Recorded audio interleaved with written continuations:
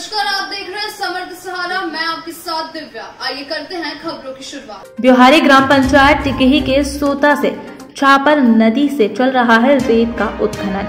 वहीं रुकने का नाम नहीं ले रहा है अवैध उत्खनन। ट्रैक्टर से डंप करके हाईवा लोड किया जाता है, फिर रीवा की तरफ़ जाता है। अवैध रेत ब्योहारी विधानसभा से रसपुर पोड़ी सोता में चलता है अवैध उत्खनन, जबकि कोई ठेका नहीं लिया गया है। इसके बाद भी ठेका बताकर अवैध उत्खनन करते हैं। शासन, प्रशासन की मिली भगत से यहाँ चलता आ रहा है। रेत उत्खनन धड़ल्ले से प्रधानमंत्री आवास पर हर ग्राम पंचायत में आया है। यह रेत नहीं मिल पा रही है तो घर कैसे बनाए? अधूरे मंत्री विधायक चलवा रहे हैं अवैध उत्खनन वंश का कंस्ट्रक्टर का नाम बताया जा रहा है।